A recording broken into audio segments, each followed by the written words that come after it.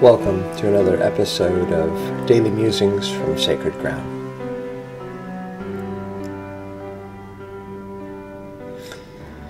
There are certain things that kind of touch us or hit us at a key moment in our lives. And for me, uh, one of those things was a made for TV movie from 1976 called Griffin and Phoenix starring Peter Falk, you might know him as Columbo, and uh, Jill Clayburgh.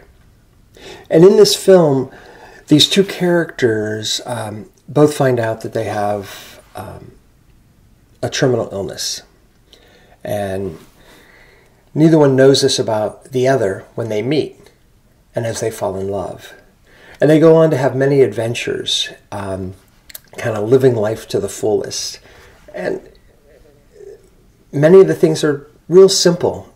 Uh, just playing with a kite on the beach or enjoying a dog or uh, watching a glass blower at his work.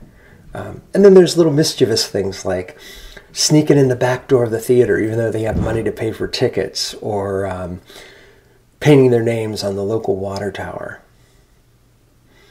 At one point in the film, Clayburgh's character even says to Falk's character, What's something you wanted to do when you were 14 years old? Well, guess what? I'm laying there in front of the TV in Struthers, Ohio, and in 1976, that's the year I turned 14. So it feels like the message of the film is, um, you know, if I try to take on Peter Falk here, and, you know, I can't do a good Peter Falk impersonation, so at least I'll do a poor one though he never says this, the message seems to me to be something like, you know, here I am, I'm, I'm nearly 45 years old and I, I haven't been alive. I haven't been living, but these last few weeks, why the hell didn't I figure this out when I was 14 years old?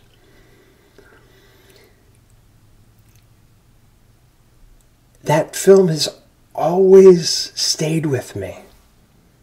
My gosh.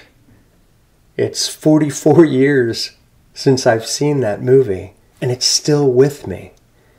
At least since I've seen it the first time. And I haven't led some charmed life. Oh my gosh, I've gone through my rough patches. I can get down. I I was down feeling down this morning. I mean, you know, it's it's I don't want to give some some glossed over view of who I am or what my life is. But I will say this I don't think in these 40 plus years that I've ever let two weeks go by without asking myself,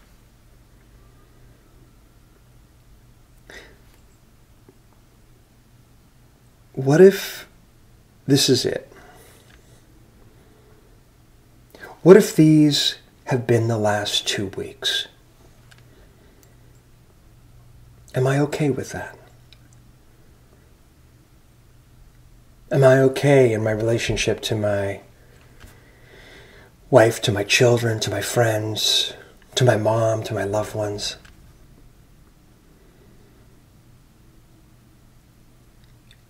And I can't say that every time I've been able to say, oh, yeah, it's been great. But it does serve as an invitation. What do I want the next two weeks to look like? If I'm given two more weeks. Because if I keep thinking that, what if this is the last week? What if these are the last two weeks? At some point, I'm going to be correct. It will be the last week. It will be the last two weeks. So I'm thankful. I'm thankful for the film Griffin and Phoenix, broadcast on our TV in 1976.